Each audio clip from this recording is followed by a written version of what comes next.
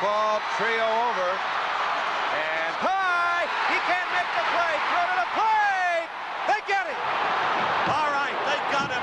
Maybe we'll be able to see that again. They got him because Cabell did not play heads-up ball and running the bases.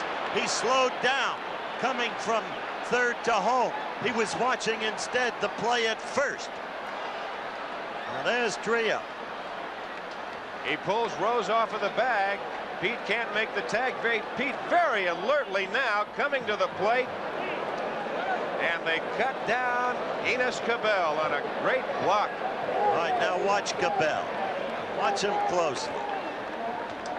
He is looking over. Instead of running full out, he is looking over. He take costs himself extra territory, circling, and thus he got thrown out.